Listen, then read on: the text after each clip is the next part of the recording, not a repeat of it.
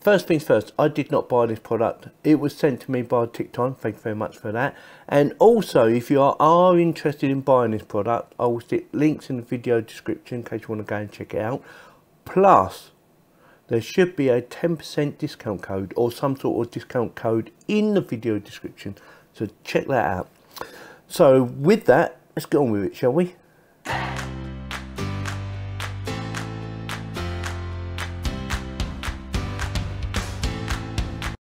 It comes with instructions and this is multilingo and it does up to six different languages. Six different languages? Is it six? One, two, three, four, five, seven. Seven different languages and each language has six pages. Okay, got that out of the way. It comes with a USB to USB Type C connection and that is about two to 300 mil long. It's not very long, but I'm not going to measure it up. Get that out of the way. And the device itself which I thought was quite unique. Very different, isn't it? Now then, I know what you're thinking. Well, why do I want one of these Yorkie? Yeah, I know it's a countdown. And I know you got that on your phone. But how many times have you set your phone up to do, say, for instance, an alarm, and it's never gone off? Yeah? Can you trust your phone to do that? Now, this is designed as a countdowner, and it does from 99 minutes, 99 seconds maximum and this would be perfect for anyone who's got their own little gym and on an exercise machine or something like that and they need to keep an eye on how long they've been on it so they can go on to the next one. Or say for instance you're watching YouTube and you need to keep an eye on you don't need to spend too much time on watching YouTube because you've got other things to do. Perfect again. Or you just need to take a break every now and again say every hour. And you need to keep an eye on the time. Again this will do that for you. Also, it has built-in times already on it, presets, and you can also set up your own. You can do little as one second and up to 99 minutes and 99 seconds, yes. And we are going to go through that right now. So, when you turn this on, let's get it round the right way. You just need to hold one button and it comes on. Now if you want to turn it off, you just hold both buttons in for about three seconds and it will go off. Yeah, simple. So one button, doesn't matter which one, either one. Now if you want to use the presets, these digits around the side, it's quite easy. Say for instance you want to do 30 minutes. So all you do, turn it around, put it down and voila, you are doing 30 minutes. Simple, yeah? Now then, say for instance, you want to do, or you want to change it to 10 minutes.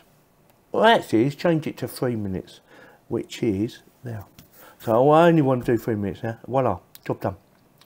That's simple, isn't it? Really easy.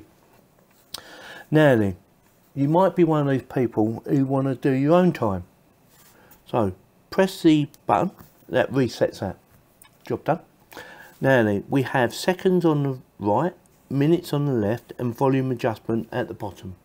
Now the volume adjustment can only work once you set the timer up, from what I understand. So you need to do the timer first, so we're going to do seconds, and we're going to do, we're going to set it for 10, okay? So set it for 10 seconds. Now all you have to do is turn it like that, and that will count down 10 seconds with a flashing light on top. Yeah, easy. When it gets down to zero, it will send off an alarm. And that will go for eight, uh, eight times. I can say eight alarms then. Eight times and then stop. Now then, should you be one of these people, uh, let me do it again. Should you be one of these people who want to turn it off sooner than uh, the eight, the eight beeps?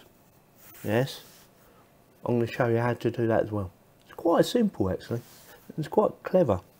The technology in here is very good. You will see. Turn her upside down and she stops. Very simple. It has a gyroscopic thing in there or something like that. I think it's called a gyro something or other. So it knows which way up it is. Someone quote me on what, it, what the actual term is. so yeah, very easy to do. It works extremely well. Like I said, you have volume control, yeah? So the clock is on. Now to turn the volume up or down, you hold the button in plus and minus. So I'm going to do plus. Oops, that's not right. Set it for 10. Now to adjust the volume, you've got to hold it in this position like this and then press the button. And that will bleep. Now then, should you want to mute it or turn the volume down, you can. But you have to set the clock up first, like I said earlier. And the way you do it is, say for instance, we're going to do, oops, uh, say 20 seconds just for this demonstration.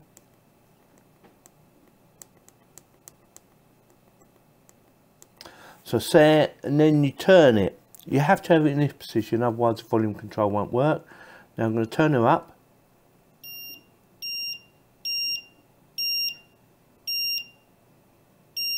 And that's as loud as it goes. Now you can actually press the minus button and it will go to silent. Yeah, quite clever. Voila. Let me know in the comments what you think. I actually like it. I think it's unique. It's got a nice bit of styling to it. It's totally different from what I've ever seen before. And hopefully it's totally different from what you've seen before. So with that, if you like this video, give me a thumbs up. If you didn't, give me a thumbs down. Please subscribe. And if you have any questions, please don't hesitate to ask. Thank you very much for watching. It's a clock with a difference. Timer. It's a timer.